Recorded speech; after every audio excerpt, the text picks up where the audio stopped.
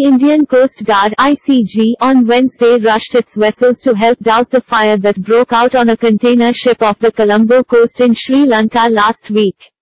The fire at the container ship carrying chemicals and fuels has been raging on for six days now.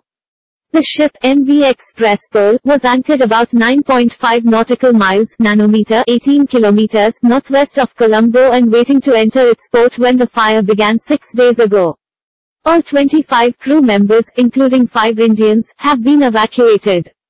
Photo AP, two Indian Coast Guard ICG ships, Vaibhav and Vajra, have been sent for assistance. ICG ships Vaibhav and Vajra, the offshore patrol vessels with external foam firefighting and pollution response capabilities, were deployed after Sri Lanka authorities sought the assistance of ICG, the Defence Ministry said. In addition, the Indian Coast Guard ships at Kochi, Chennai and Tuticorin are on a standby for immediate assistance. Coast Guard aircraft are being brought to Tuticorin from Chennai and Kochi for aerial surveillance and pollution response. The ICG is also in constant touch with the Sri Lanka authorities for the operation. Photo AP Meanwhile, the High Commission of India in Sri Lanka was quoted by News agency ANI as saying, in view of the developments connected with the fire on MV X-Press Pearl, Indian nationals currently in Sri Lanka are advised to refrain from going close to the seas of Colombo and Negombo.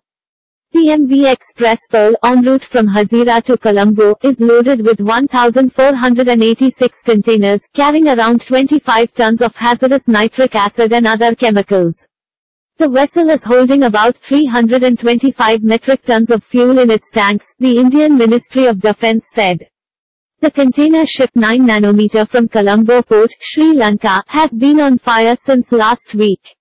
On May 20, 2021, a fire broke out on board MV X-Press Pearl of Colombo port which was reported to be brought under control with the help of port authorities the next day.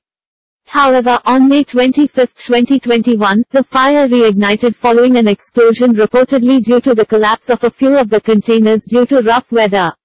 About 8 to 10 containers are reported to have fallen overboard after the explosion and fire. The ICG, being an active member of the South Asia Cooperative Environment Programme SACEP, is committed to its responsibilities of safeguarding the ocean environment in the region.